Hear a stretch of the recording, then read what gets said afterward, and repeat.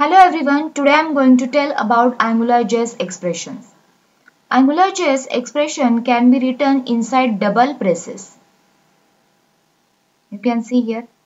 AngularJS expression can also be written inside a directive ng-bind equal to expression.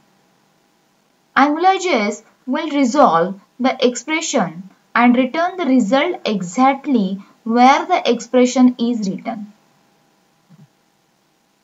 AngularJS expressions are much like JavaScript expressions. They can contain literals, operators and variables.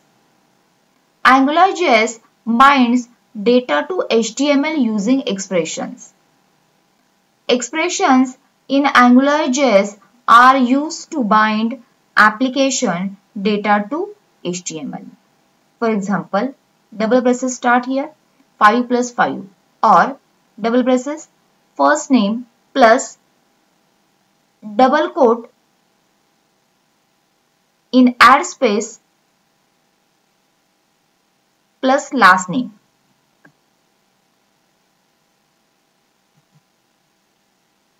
Let's see example. HTML start here, HTML close here. Script source equal to angular dot min dot js. This is local angular js file. Then body tag start here, body tag close here. ng dash app.